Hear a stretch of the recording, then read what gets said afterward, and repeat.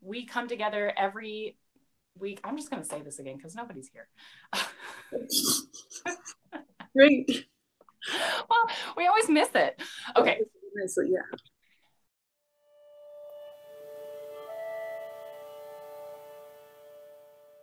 Welcome to Fresh Pressed Science on the Nexus Sci Community YouTube channel.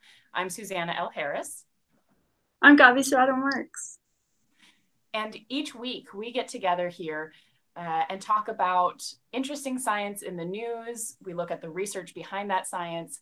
And importantly, we've started talking about uh, advice in grad school. And that could be advice anywhere from applying to grad school, like we did last week. If you haven't checked that video, go right now, pause this one, go check out the other one. Uh, but we're going to be talking about all these different types of uh, different pieces of grad school anything from applications to actually writing and even maybe defending in the future. So if you have any ideas for us to talk about advice of our own opinions and anything else we can find online, we're happy to do that. Today for this fresh pressed advice, we're going to be talking about how do you know when you're done with experiments? How do you know when you actually have a conclusion? My three tips are First of all, that when you can answer your initial questions, that probably means that you should pause and think about being done. Because I think a lot of the times people say, well, I have the answer to that one, but I have five more questions that I want to keep working with. I want to keep going.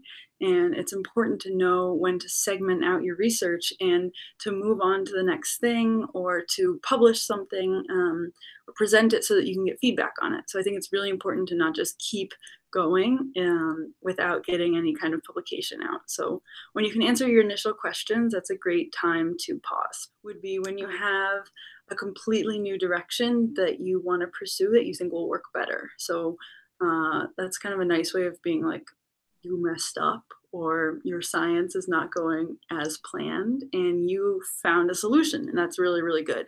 Um, that means that you can pursue that. As long as you have your collaborators permission i think it makes a lot of sense to have the humility to say actually i'm going to try a totally different tactic or a parallel one. So i think that's a good time to stop your first experiment and my last one is kind of similar, but when you've tried absolutely everything and you've used all your resources and you still can't come up with a new way to spin the project or a, something to kind of recover it, I think it's really, really important to cut your losses and then keep going with a different project. Um, that's something that I think is the hardest for anyone to do, um, but especially young scientists. It's really hard to say, uh, either this is not working the way I'm doing it, or like these bacteria are not doing what we thought we would do. But it's so important to just say, all right, let's do something wildly different. So I guess two and three are very similar.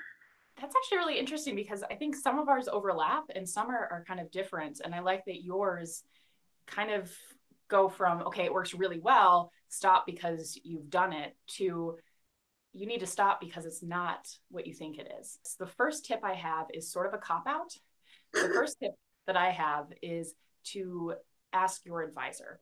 Uh, hopefully, your graduate program, hopefully, you as a student have chosen someone that you trust to be a good scientific advisor and to teach you how to make these sort of decisions. And so, my first tip is to really use them as a resource and go to them and say, Hey, am I done? Does this answer the questions we were trying to ask. I think one misconception in science is that you stop doing experiments when you know you're right. And if that was the case, you would never stop doing experiments. And oftentimes your PI never wants you to stop doing experiments. PI means primary investigator or principal investigator. That's basically your boss in a lab. If they're someone who wants you to just keep going, then you might have to make the decision that the question you're asking has been answered and you can talk to other scientists and say, given this data, can you come up with any other conclusions other than the ones that I have drawn? And if no one else can come up with conclusions other than the ones that you and your team have drawn, it's probably a pretty sound conclusion. You should be done when you feel comfortable being done. In the end, if you are an author on a paper that's going to be published, you're the one who's going to have to defend this work. And if there's any part of you that feels uncomfortable making the conclusions that you're drawing, it probably is not a good sign. I kind of wanted to ask you about, uh, especially about the third point, because I thought that was really interesting. um, how do you know when it's not working today versus not working at all, right? Because yeah. sometimes experiments, uh, you have to do them a bunch of times before it works. And especially if you're doing something four or five times, what happens when two out of the five times it doesn't work? I think that is one of the places where the expertise that your advisor has or the postdocs in your lab, someone with more experience, I think this is where that becomes so important because they have this sense of this will work eventually or you know what? We have enough evidence now that this isn't working. And i've found that talking to someone with more experience is pretty much the only way i can figure that out at this point.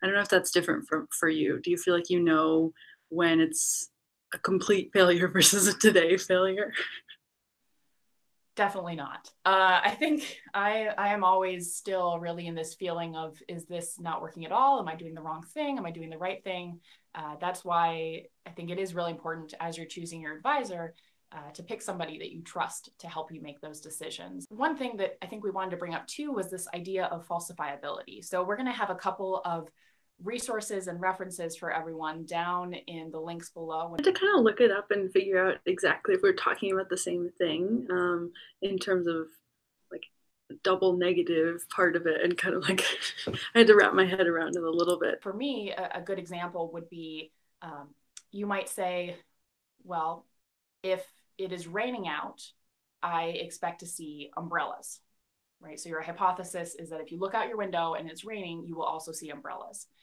Now, if you look outside your window and you don't see umbrellas, it could still be raining, right? So if if the hypothesis is umbrellas mean that there's rain, and if there's rain, there will always be umbrellas. If you look outside and see no umbrellas, uh, one, there could be no rain, or two, there could be no people. So falsifiability means that whatever question you're asking and the way that you're asking it can be tested and can be um, can be shown to be wrong essentially. You're asking a question in a way that if it's wrong you'll find out. Um, yeah that's a really good explanation. I like the umbrella thing. You know in in summary i think that these kind of decisions are are really important. It's really important to decide for yourself uh, and to learn through grad school or through research or through other uh, sources when to stop asking the questions because it's not something that there's one easy guide to it. It's going to be really subjective. And at the end of the day, you're going to have to be the person who stands up and says, I feel good about this. It's super important to talk to your advisor also, just to reiterate that. Like the one person who is supposed to help you the most is going to be your advisor. And there are definitely cases where your advisor might be pushing you to continue an experiment that's not working or pushing you to stop an experiment that you still think has a lot of merit for whatever reason.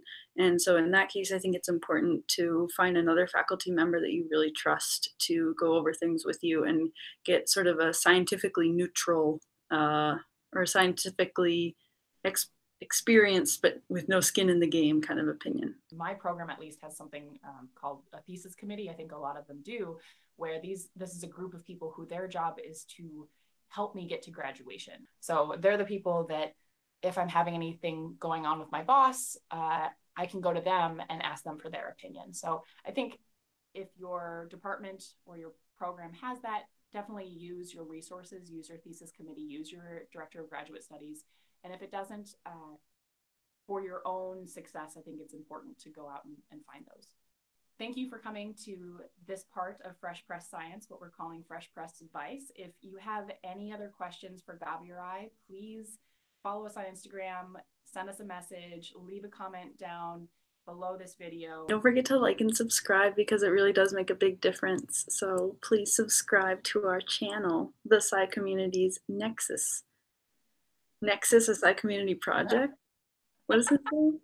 Please subscribe to this channel.